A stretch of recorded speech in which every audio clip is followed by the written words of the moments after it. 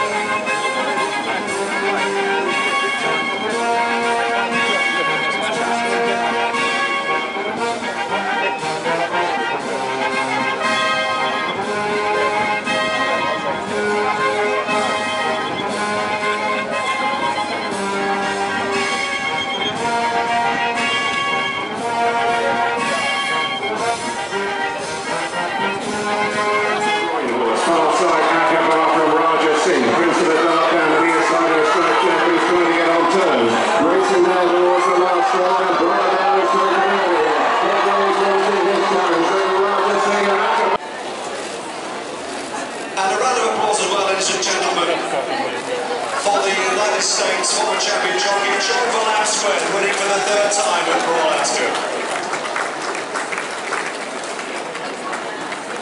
And there's also a prize for the groom of Lady Aurelia, Jose Ravenas.